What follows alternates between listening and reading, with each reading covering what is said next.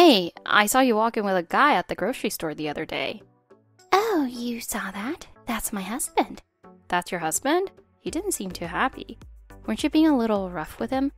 Oh, that's not violence. That's how I show affection. It looked like you were hitting him. Are you sure that's okay? Oh, it's fine. That's just how we are as a couple. No, even in a marriage, violence isn't acceptable. Ugh, what do you care? It's our relationship, not yours. My husband needs a little push sometimes, or he won't do anything. It's like those old TVs. Most kids today don't even know what an old TV is, but people aren't TVs. You can't just hit someone. Your husband looked like he was in pain.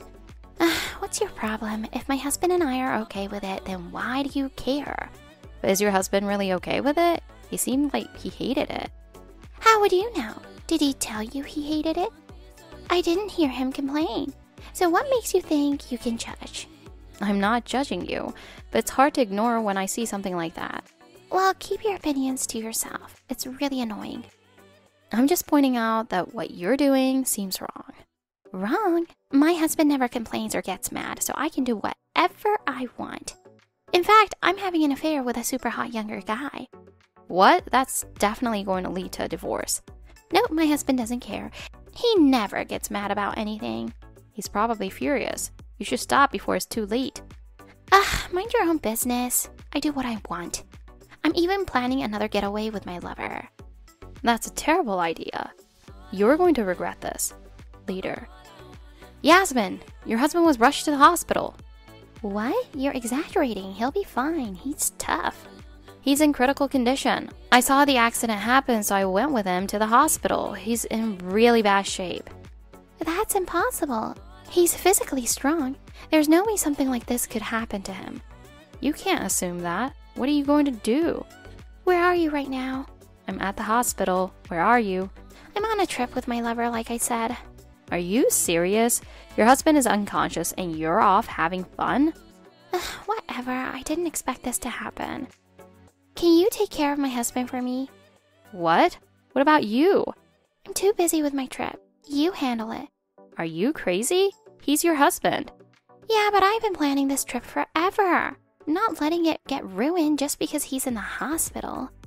Oh, that's awful. He's your husband. And you're choosing an affair over him? My lover's way hotter. My husband's weak and indecisive. Then why did you marry him? I thought he was a good choice at the time. Now I couldn't care less. Honestly, I'm thinking divorce might be easier. That's the worst thing you've said so far. If your husband heard this, he'd be furious. Oh, he won't get mad. He never does. I'm actually considering divorcing him. I bet he'll just sign the papers without even asking for alimony. You've got to be kidding. You've reached a new level of selfishness. I just want a fun life with a hot guy. What's wrong with that? It's my life, so I'm going to live it the way I want. But you're married. You should at least care for your husband. Ah, you sound like one of those old fashioned husbands. I've got my own way of thinking. Stop trying to push your beliefs on me. It's not just me. Anyone would say you should take care of your husband. Ah, here we go with a normal argument again. You're trying to make me the bad guy. Are you sure you're okay with all this? What's that supposed to mean? If you have something to say, just say it. Well, your husband just regained consciousness. He's talking now. What? He's awake? Good. At least if he dies, I might get an inheritance. Even now, you're saying horrible things. Do you realize your husband knows everything? What do you mean? I've been showing him all of our texts. What? How could you do that? That's a total invasion of privacy. I thought he deserved to know the truth. I'm not even worried. My husband never gets mad. He's such a pushover. Well, that's changing. He's furious right now. no way. My husband wouldn't get mad at me. He's shaken with anger. That can't be true. He never gets mad. He said he's had enough of you taking advantage of him. He's finally done with you. What am I supposed to do? Please tell him not to leave me. I'm really a good wife. You should figure that out on your own. Why is this happening to me? You're with him at the hospital. Can't you help me out a little? I'm here because I care about your husband, not for your sake. Ugh, you're so annoying. Just make sure he doesn't ask for alimony, okay? He's definitely asking for alimony. He says he's going to make you pay for everything you've done. No way! This is a nightmare. It's all your fault. You shouldn't have taken him to the hospital. So you're saying it would have been better to leave him unconscious? Exactly. This is all because of you. You've ruined my life. No, you ruined your own life. You've been taking advantage of your husband for too long. This isn't fair. I'm just doing what I want with my life. I shouldn't have to pay for this. You ignored your husband's feelings. Now you have to face the consequences. I won't pay alimony, and I won't get divorced. Tell him that. He's already talking to a lawyer. He's determined to divorce you. How can he do this to me? I've given everything for him. He says all you've given him is misery. He's had enough. This is so unfair. Maybe you should have thought about that before treating him this way. Yasmin tried calling me several times after that, but I ignored her. Her husband went through with a divorce, and she was forced to pay him a large alimony. She then tried to marry her lover, but he was only in it for fun and left her. Yasmin was abandoned by everyone, even her family. I still occasionally hear from her ex husband who thanks me for helping him. He's living a much happier life now.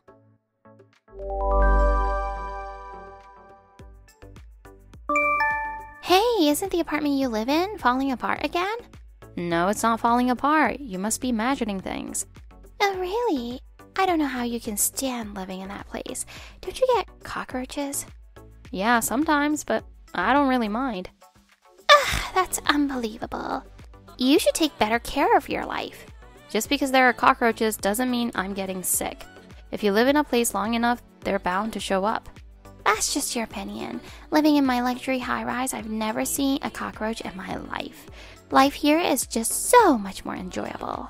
Well, that's nice, but your lifestyle is thanks to your husband working hard, not your own efforts. That's not true. I'm living this life because of my beauty and charm. Most other moms are married to a boring man, but I married into the winning team. It doesn't matter who you marry as long as it's a decision based on love. You shouldn't look down on others' marriages. Oh, you're just trying to justify your own regrets. Don't you really want a divorce? Oh, don't be ridiculous. My husband and I get along just fine. Plus, my husband's not a boring man. But living in that rundown apartment, he can't be making much. A man should earn more than that. I work too, so we have plenty of income. And honestly, a high rise just doesn't feel comfortable to me. Ah, classic excuse. You're just telling yourself that to cope with your situation. Say whatever you want. Even though I live in an old apartment, I can still afford high end sushi. High end sushi? That's wasted on you. You don't deserve it. Well, my husband and I enjoy it. Too bad. That sushi is for me. You can't have it. What are you even talking about? A few days later, I went to that high end sushi place you were talking about. Poor people should stick to cheap sushi. High end sushi is pearls before swine for you. We went in using your reservation, so just give it up. I'm your husband's boss. Wait, what? You didn't know? I run several companies from home. What? Then why are you living in that rundown apartment? Because I don't like fancy offices. I prefer working from a simple home office. I can't believe this. Well, since you stole my sushi reservation, I think I'll have to fire your husband as punishment. Wait, you can't fire him over that. Do you know how long it takes to get a reservation at that sushi place? I didn't know you had to make a reservation. It's a six month wait. My husband and I were really looking forward to it, and you just took it away. Wait, it was that long of a wait? I didn't realize it was so serious. Oh, it's serious. How dare you steal something we waited so long for? But it wasn't entirely my fault. My husband wanted to go and I couldn't stop him. That's a weak excuse. Why don't you let me speak with your husband then? No, wait. He doesn't know I stole the reservation. So you lied to him too? Ugh, unbelievable. Not only will I fire him, but I'll also make sure you pay for the reservation you stole. Pay? I'll cover the cost of the meal, but is that really necessary? It's not just about the meal, it's the time you wasted by taking our reservation. Isn't that a little extreme? You make more money than we do, so why do you care so much? It's about principle. I want to teach you a lesson. Oh, you should be kinder. Why are you being so harsh? You're the last person who should talk about kindness. Enjoy the sushi, but remember once you walk out of that restaurant, there's no going back. You're joking, right? At least don't fire my husband. I'll do anything to make it right. No, it's time you face the consequences of what you've done. A few hours later. My husband called you, right? Yeah, he did. He begged you not to fire him, didn't he? Yep, but I'm still going through with it. You're so cruel. It's not cruelty, it's justice. He's been slacking off at work anyway. You can't fire him just because of that. Well, there's also the matter of the missing money from his expense reports. What? Missing money? Every time he buys something for the company, there's extra money unaccounted for. We've been meaning to bring it up. Are you saying my husband's been embezzling? It's possible. If he admits it, maybe I'll reconsider firing him. Fine, I'll ask him. He admits it. Well, then it's settled. He's definitely fired. Wait, didn't you say you wouldn't fire him if he admitted it? I never said that. Anyone who embezzles is getting fired, no question. This is awful. Your husband is the one who committed a crime, and you stole my sushi reservation. You have no right to complain. This feels like revenge. It's not revenge. You need to learn that actions have consequences. You've been looking down on other moms from your high rise, but now you'll know what it's like to be in their shoes.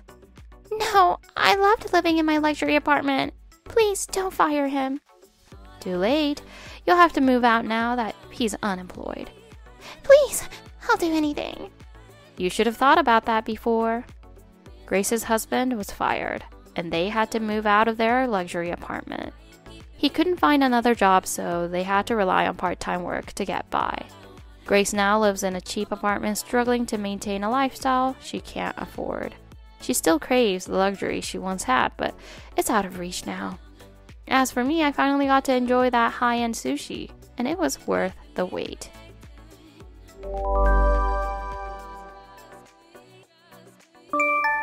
Hey, guess what? The other day I got $50 from Mary. Isn't that awesome? Wait, you got $50? How did that happen? It's exactly like it sounds. I've always done things to help others, so I guess this is karma. I'm pretty sure you haven't exactly been doing things to help others. Uh, how dare you? I take care of others more than anyone I know. Fine, fine, just tell me how you ended up with $50. Well, it was simple. I went shopping with one of the moms, and I told her I'd cover the bill if she lent me money. She gave me $100, so I kept the $50 change as a service fee for handling the checkout. Are you serious? Keeping $50 as change? You're out of your mind. Come on, when you see that much money in front of you, it's hard not to want it. No, it's not. You need to give that money back to her. Nope. She didn't even ask for the change, so clearly she doesn't care. If she's not complaining, I didn't do anything wrong. And don't be ridiculous. If you keep this up, it's going to come back to bite you. You're always so dramatic. Oh, by the way, I heard you have a membership to that exclusive grocery store, right? I've always wanted to go there. Mind if I tag along next time? No way. You just pull the same stunt on me, wouldn't you?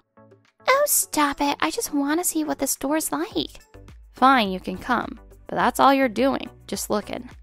If you try anything funny, I'm not going to forgive you. Relax, it'll be fine. A few days later. Hey, Jane, I just finished at the checkout. I'll keep the extra cash as my fee. There's over a $100 left, so I'm thinking of getting some steak on the way home. You're going to jail for fraud. I told you not to do this, and you still went ahead and did it? Oh, wait, wait, hold on. What do you mean fraud? What do you think? You said you cover the checkout, but you never mentioned keeping the change.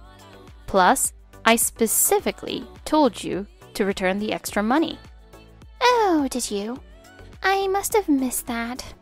Don't act like you forgot. You agreed, remember? Fine, but you gave me $300. Why would you give me so much money if you didn't want me to keep the extra? It's a membership store, so things can be expensive. I didn't expect there to be that much leftover. Well, you should have given me less then.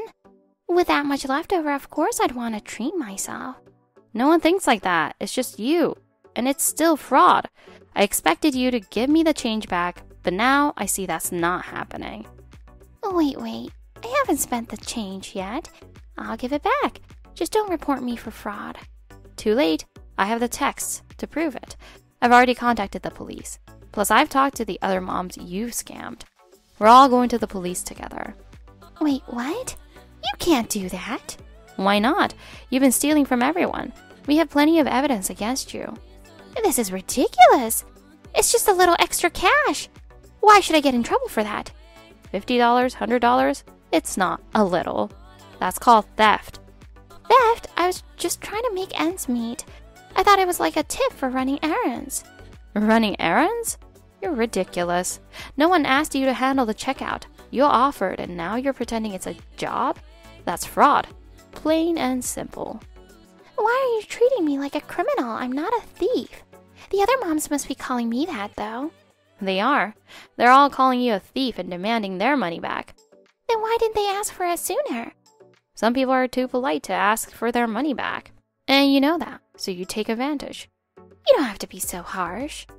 Kind of sorry, okay? Why are you getting angry? You're not the victim here. You're the one stealing from people. I'm not stealing. Anyone would keep extra cash if it's just sitting there. Well, we'll see if the police agree with you.